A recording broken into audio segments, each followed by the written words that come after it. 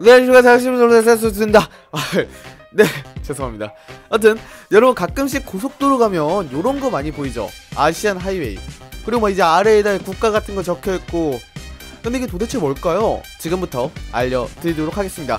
자, 1959년에 유엔 아시안 태평양 경제사회위원회에서 유럽에서 진행되는 유럽 고속도로를 보고 아시아를 하나로 묶는 지역 도로망을 구상하게 됩니다. 뭐 예를 들어서 한국에서 터키까지 직방으로 가는 고속도로가 있었으면 좋겠다. 이런 식으로 말이죠. 실제로 이 구상은 대한민국을 포함한 거의 대부분의 아시아 국가들에게 이익이 되는 구상이었습니다. 어 뭐 대부분이 아니죠. 전부 다. 전부 다 이익이 되는 구상이죠. 네. 국가 간의 물적, 인적 교류가 확대되고 정치, 경제, 사회 등 각종 분야의 협력 증진에 매우 도움이 되는 정책이었기 때문이었죠. 아니 한국에서 터키까지 직방으로 갈 수 있다잖아요. 지금 바로 차 타고 갈 수 있다는 거예요 당연히 거의 모든 분야에서 이익이 되는 인프라 정책입니다. 근데 이게 1980년대에 정치적 외교적 문제 때문에 깨지게 됩니다. 중국 같은 일부 국가의 반대도 있었고요. 당시 인도와 파키스탄의 카시미르 분쟁, 베트남 전쟁, 소련의 아프가니스탄 침공 때문에 아시안 하이웨이는 뒷전으로 밀려나게 됩니다. 자 이렇게 시간이 흐르고 1988년에 중국이 먼저 유엔 아시아 태평양 경제사회위원회한테 이렇게 말합니다. 야 우리 아시안 하이웨이 지을게. 아 좀 도와줘. 이렇게 하면서 추진의 속도가 붙기 시작합니다. 더욱더 탄력을 받아서 2001년 서울회의 2002년 방콕회의에서 각국의 도로망 연결 등에 대한 구체적인 논의가 이루어졌고요. 2004년 4월 26일에 아시안 하이웨이 정부 간 협정에 23개국이 서명을 하면서 아시안 하이웨이가 진행이 됩니다 현재는 31개국까지 서명을 한 상태고요. 지금까지 지어진 아시아 하이웨이는 31개국 14만 479km까지 늘어난 상태입니다. 자, 한번 볼까요? 1호선은 도쿄에서 시작해서 터키, 불가리아 국경까지 가는 고속도로입니다. 2호선은 인도네시아 발리에서 시작해서 이란까지 가는 고속도로고요. 또 3호선은 러시아 울란우데를 시작해서 몽골 수도인 울란바토르를 거치고요.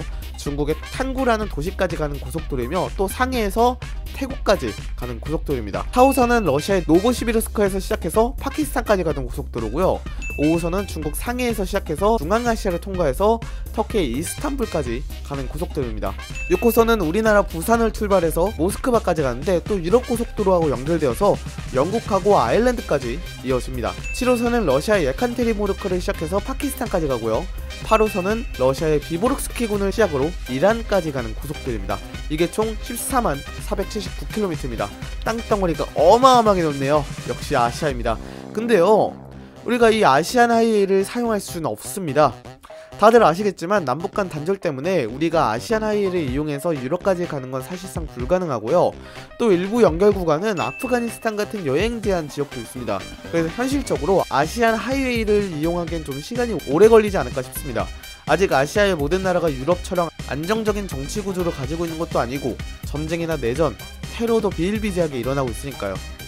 자 그렇다면 왜 우리나라는 이 사용도 못하는 아시안 하이웨이에 참여하는 걸까요? 세금 낭비 아니에요?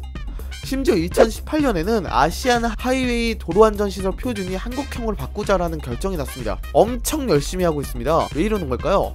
이렇게 열심히 참여하는 이유는 단 한 가지밖에 없습니다. 통일이 되고 나서 육로로 물적 인적 교류를 좀 더 원활하게 하고자 하는 생각으로 진행을 하고 있는 것입니다. 아무런 준비를 하지 않은 채 통일이 되어버리면 엄청난 혼란이 야기될 게 분명하고 또 미리 준비해서 나쁠 건 없으니까 미리 준비하고 있는 거죠. 통일이 언제 될지 모르지만 언젠가는 될 게 분명하니까요. 또 이강래 한국도로공사 사장은 한강의 기적을 이룰 수 있었던 게 경부고속도로였으니까 제2의 한강의 기적을 일으키기 위해서는 아시안 하이웨이를 이용해서 대한민국 경제에 새로운 활력을 불러일으키겠다 라고 말했습니다. 어, 잘 됐으면 좋겠네요. 네.